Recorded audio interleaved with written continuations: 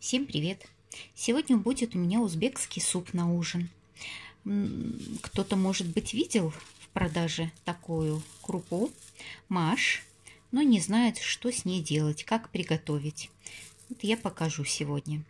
Эта э, крупа относится к бобовым. Начнем приготовление супа. В первую очередь я нарезаю лук полукольцами. Я часто готовлю этот суп без мяса. Но если будете готовить с мясом, то хорошо подходит к этому супу говядина. Ее можно нарезать небольшим кубиком и обжаривать в первую очередь. Потом уже добавляем лук, морковь. А я вначале обжарю лук, потом морковь. Наливаем немного растительного масла, бросаем лук. Лук обжарился. Бросаем натертую морковь. Я в супы всегда натираю морковь, потому что я не люблю вареную морковь в супе крупную.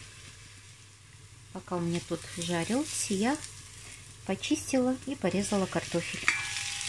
Можете кубиками нарезать, можете вот так произвольно нарезать.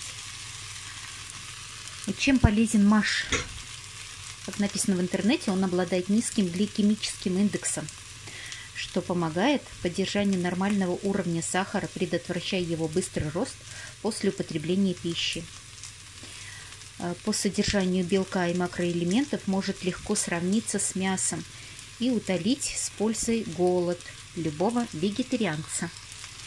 Маш способствует снижению уровня холестерина – а также обладает антисептическими и мочегонными свойствами, за что его ценили с древних времен. Наливаем воду и насыпаем. Вот две, получается, горстки маша,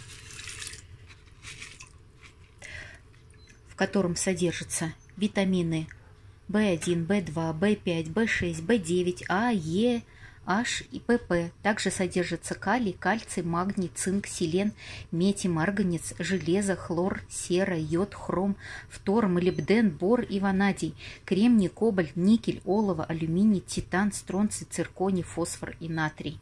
Видите, какая полезная крупа. Все, накрываем крышкой. Как закипит, крышку приоткрою. Буду варить минут 15. И через 15 минут добавлю рис. Забыла снять, как я бросила рис. Вот бросила, посолила суп. И все, теперь будет до готовности риса вариться. Э, Маш уже вот разварился. Ждем. Все, суп готов. Такой наваристый. Он очень сытный, даже без мяса и вкусный. Даже без хлеба.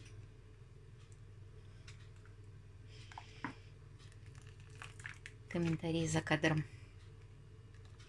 Все, сейчас будем ужинать. Готовьте и ешьте на здоровье. Всего вам доброго.